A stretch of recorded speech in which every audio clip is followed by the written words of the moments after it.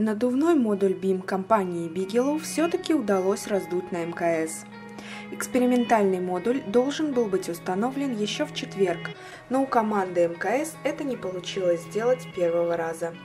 Стоит также отметить, что ожидаемое время раздутия модуля составляло 45 минут, в то время как экипажу удалось раздуть BIM только за 7,5 часов.